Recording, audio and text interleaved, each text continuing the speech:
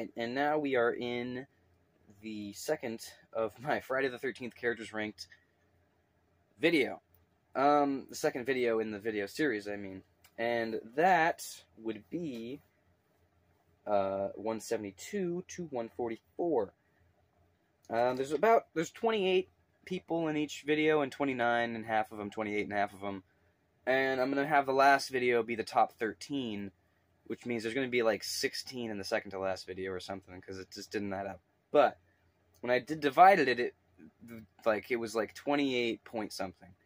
So I think the last one had 28 placements and this one has 29. We'll see how we'll see how this goes. Uh, but for now, popping right back into this shit.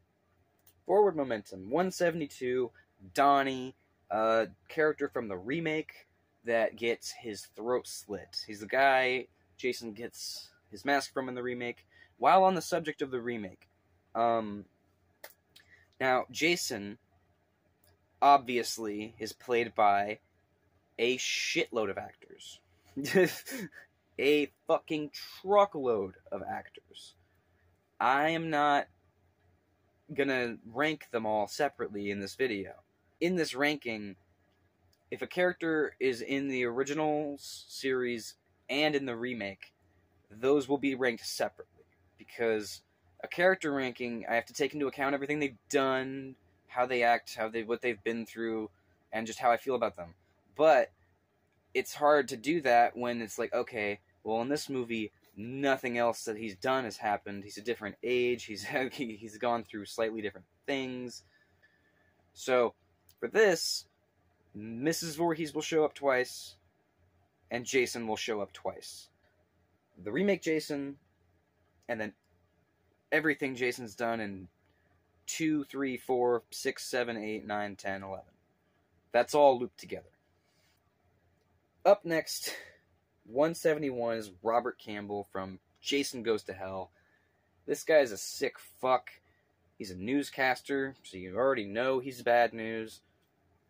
I didn't even mean to make a pun about that. Uh, he's uh, he's an awful, awful human being. He's he's like trying. He's like he's with this girl, right? And then he steals he steals Diana's body and hides it in the fucking closet so that he can get so that he can get views. And then he went home and fucked her daughter. Like it's it's so bad. He's such an awful character. And uh the characters that get possessed by Jason, I'm only considering things they do outside of like the possession itself. Let say, obviously, uh, Robert Campbell as the newscaster is my favorite of the Jasons in possession form. Like Phil, the coroner, Josh, they're about equally bad to me.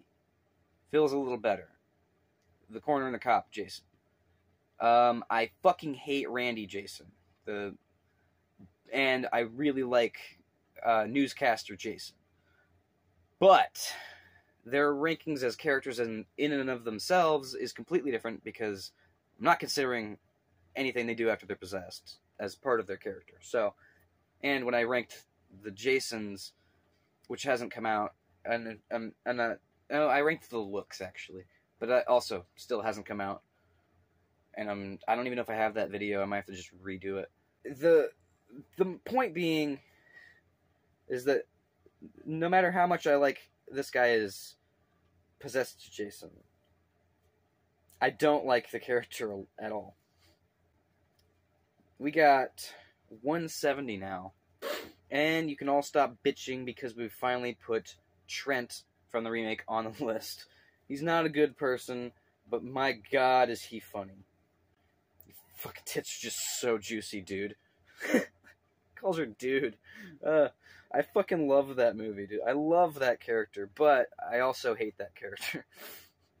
because the guy's funnier than hell, but he's such a dick. Like, I just, ah, he's so fun to hate. And being fun to hate gets you ranked higher than being an okay person but just a nothing character.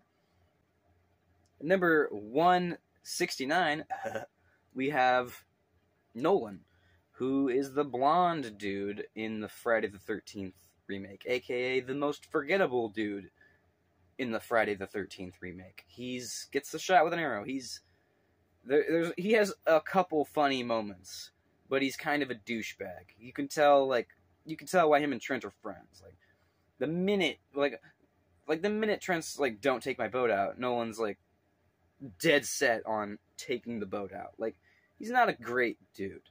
And he's also just kind of dumb. But again, there's some really funny moments with that guy. Really funny moments. At 168 we have Luke who's one of he's the male of the three uh, horny uh, young adults in Jason Goes to Hell. He's the male in that group. Um, not a lot to him, but my god, is that one of the best sex scenes ever? so, I don't know how much that has to do with putting him this high. They seem like they were having a lot of fun and they'd be fun to hang out with, so that could also be it, but yeah, no, he's he's here. He's a kind of a nothing character. Doesn't really do anything offensive or wrong. It's hard to not think. It's hard to watch that scene now and not think about the fact that the actors fucking were real life exes at the time they filmed that, who got the roles separately. That's genius, mind boggling. That's just the universe. The universe did that on purpose. You know it. And now 167 is Sean, the main male guy. Male guy. Duh. the, the main guy in Friday the 13th, 8. Jason Takes Manhattan.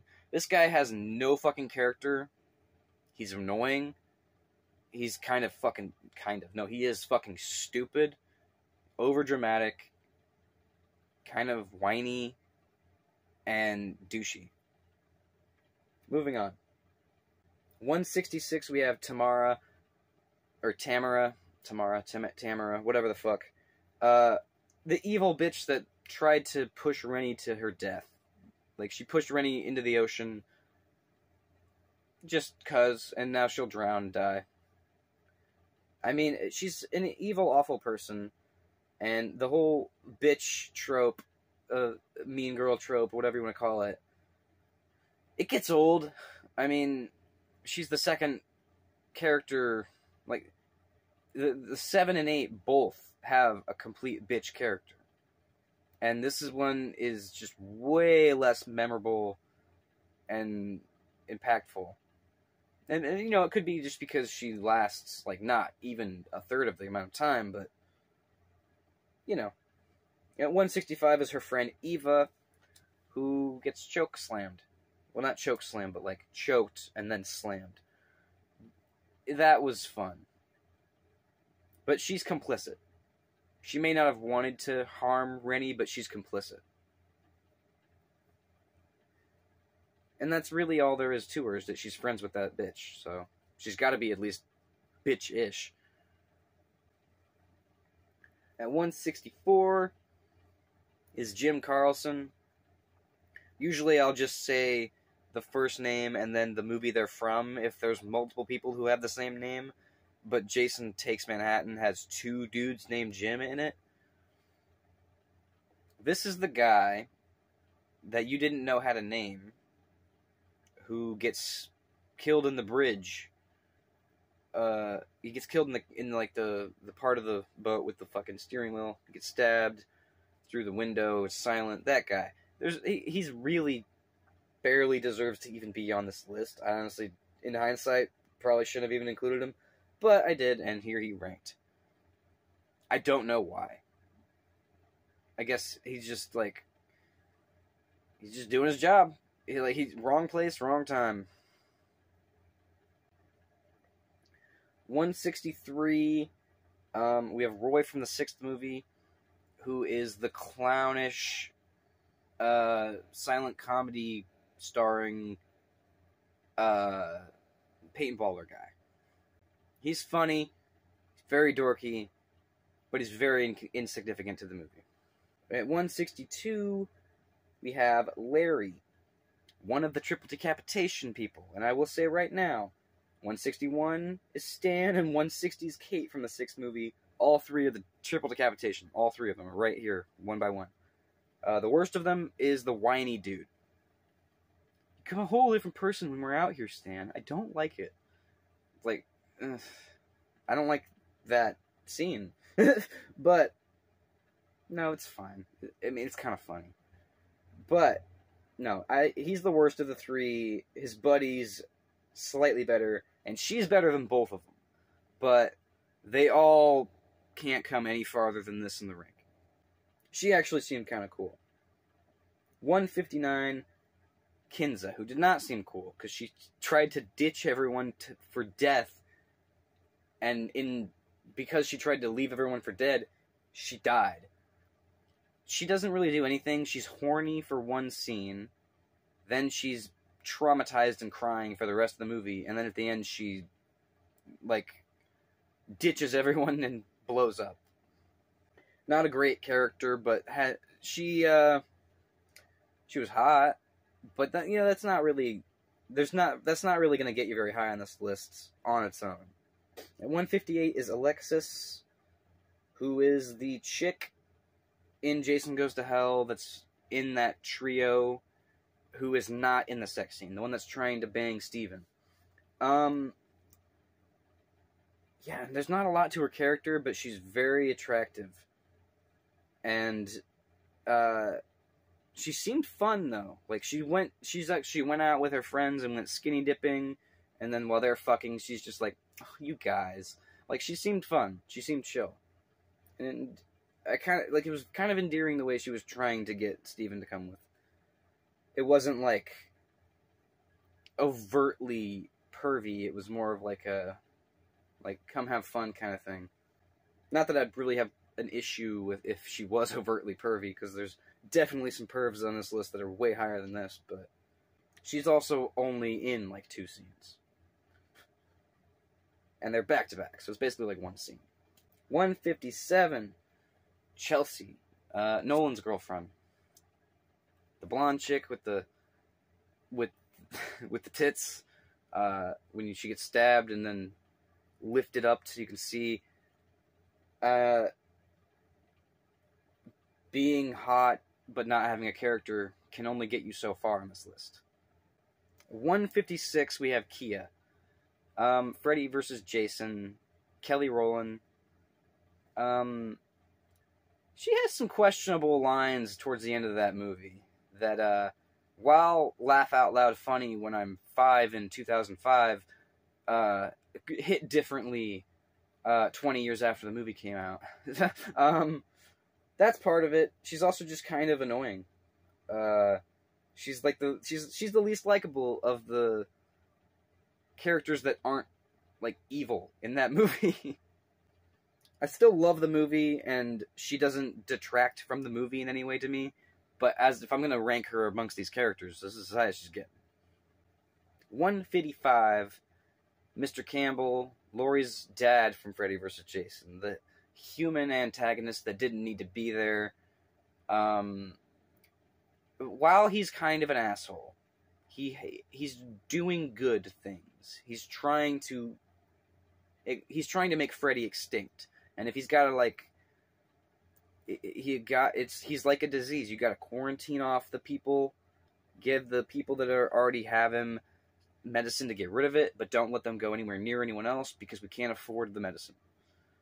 He's very strict, straightforward, smart. If he had any like communication skills or the the the forethought to talk to his daughter like she's not fucking two, like you can explain why you're asking her to do the things you're asking her. It's not too much to do, and I understand that. He, like, I understand also though that like him letting her know what the pills he's asking her to take are and why he's asking her to take them might reinforce Freddy's power, or it might, or she, he doesn't know that she's already dreaming of him, so maybe he's trying to take preventative action, and if he explains what's going on and why, it might start trouble before it even, You know, like there's a whole bunch of there's a myriad of reasons. Very complex character, but he's he's getting this low. And right above him is a character who has no right being above him, but he is. 154 is Mr. Mueller, and I know you don't know who the fuck that is. He's Blake's dad. No, you still don't know who that is? Okay, well, he's the guy in Freddy vs. Jason. He's the dad who, like, Blake wakes up and he shakes his dad's shoulder and the dude's head just pops off.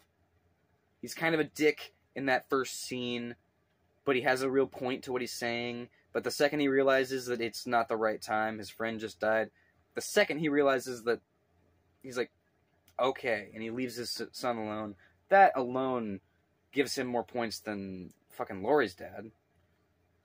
At 153, we got Bad News Crews, Evil Dude. Um, evil Dude. But again, being evil and central to the plot is better than being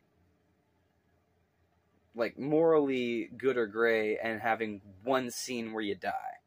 So Crews is evil, but he's entertainingly evil too. Like obviously Tina wouldn't be there or be able to channel her powers as well if Crews wasn't doing what he was doing to torment her. And yes, it's evil, but I'm a viewer in a movie and I want her to do the crazy psychic shit. So you gotta take you take it with the good with the bad. Like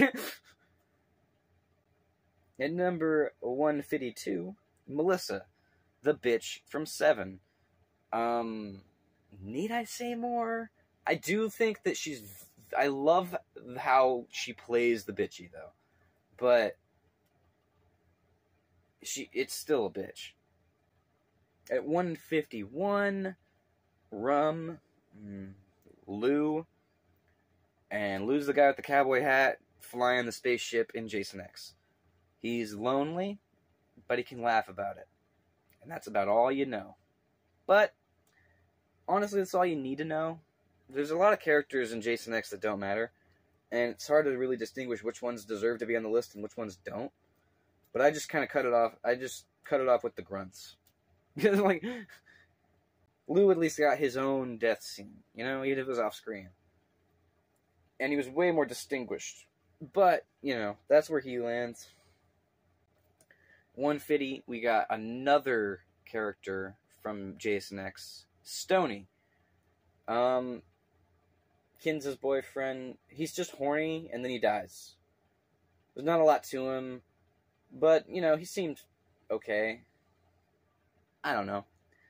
Like at a certain point, we're splitting hairs and really deciding, like, well, why is this character above this character? And it's like, well, sometimes it's there's not a reason. It's just preference.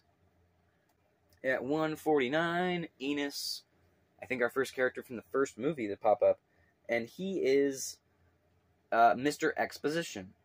Um, I like the character, but if I'm going to rank him amongst all the other characters, there's just not he doesn't do a lot. like he's he explains like you know two kids murdered in '58, boy drowned in '57, bunch of fires. Nobody knows who did any of them. Like like yeah, I like the character, but he's such a small piece of that movie, and compared to everyone else that's left, you know, it's it's a bit you know I don't know. He's not higher. 148 is Bree who is like the hottest chick in the movie, uh, the Friday the Thirteenth remake. Um, damn, and she uh, fucks her friend's boyfriend, and not only does she do that, but her but the guy is Trent. Like, is she deaf and blind or dumb? Because he clearly doesn't deserve to have any sex. I don't know. Questions you ponder yourself. But no, she seemed really fun. 147 is uh, Admiral Robertson. The guy that drives the boat in Jason Takes Manhattan. He seemed like he was an okay dad to the his kid who's like the worst survivor in the movies, but you know, whatever. He's yeah. 146 we got Susie. Yeah, I know you don't know who that is. Is she's the chick that gets killed at the beginning of the eighth movie with the boyfriend who has the mask. She's that. She's that chick. She has. She's very forgettable. But you know, she doesn't piss me off. So, one. Well, no. The scene where she's dies, she does kind of piss me off because she does. She's just sitting there, like while he's slowly doing it. But I don't know if it's her pissing me off for not moving, Jason pissing me off for just going too slow, or the movie pissing me off for the whole scene. I'm gonna go with the movie. And at 145, we have Adrian. She's sympathetic to Jason when she sees his fugly ass face. And she's really annoyed with Stoney and Kinsa when they're trying to fuck, basically right there on the corpse. So, that's really all there is to her. She's in one scene. That can't put her much higher. And the last character in this um, video of the ranking, uh, Marcus from the ninth movie. Jason Goes to Hell, the chick at the beginning who's an FBI agent. Um, not a lot of scenes, but baller to volunteer for that job. I mean, fuck, I wouldn't. it's not every day you're, well, it, hopefully, it's not every day that your FBI boss comes in and is like, I need you to strip down and get into a shower. But that's this section of the ranking. We're slowly but surely getting closer and closer to the better and better characters as as rankings ought to do. Um, but yeah, no, this is it's kind of getting difficult to think of what to even say for some of these characters because it's like like what do you say about fucking Lou like or fucking Stoney. I don't know they're there they don't piss me off but they don't make me cheer so they're, they're that's kind of where we are at the ranking right now so yeah like subscribe all that bullshit. Stick around till you get to the top 13 characters. It's going to be controversial as fuck.